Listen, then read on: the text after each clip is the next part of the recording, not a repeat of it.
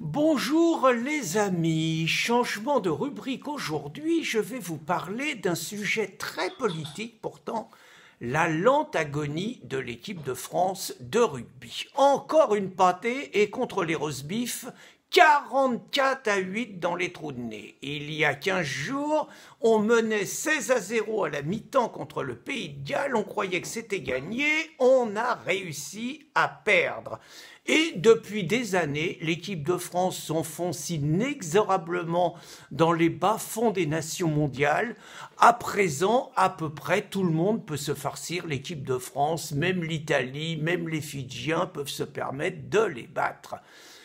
Je vais vous parler d'une époque que les moins de 20 ans ne pourront pas connaître, qu'il est loin le temps de Roger Coudert qui nous disait Allez les petits, le temps où on parlait du génie français, le temps des piliers basques, des Benoît Doga, des Walter Spanghero, le temps où les demi-mêlés mesuraient 1m70 et 70 kg, les frères Cambera-Béraud, euh, le petit caporal Jacques Fouroux, les frères Boniface, Jean Gachassin, Pierre Villepreux, tous ces joueurs dont on parlait du génie français, le French flair, disaient les Anglais, qui étaient admiratifs devant cette capacité de rugby panache, qui était capable, depuis nous 22, de prendre les risques les plus insensés, de temps en temps de se faire sécher, mais de nous promettre des essais de 100 mètres. Ce temps-là est terminé.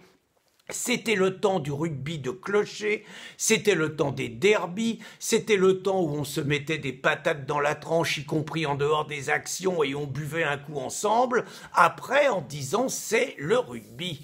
Place au professionnalisme à présent, une nationale 1 à 14 clubs, Place au rugby du fric, place au rugby du mondialisme, place au rugby du multiculturel. Mourad Boudjelal, président du Racing Club de Toulon, ne, ne reprochait-il pas au rugby français d'être trop blanc, d'être trop franchouillard, d'être trop gaulois? Et quand vous regardez à présent les équipes de France qui jouent dans le championnat professionnel, vous n'avez plus beaucoup de Français dans les clubs, vous avez une majorité de joueurs d'hémisphère du Sud, vous avez une majorité d'Anglais, de Gallois, d'Écossais et quelques rescapés français. Dans l'équipe de France, c'est de plus en plus la même chose. Et euh, le, talentueux Castagnette, pas Castaner, disait qu'il en avait assez de perdre avec des équipes composées d'étrangers et que quitte à perdre, il préférait perdre avec des équipes françaises.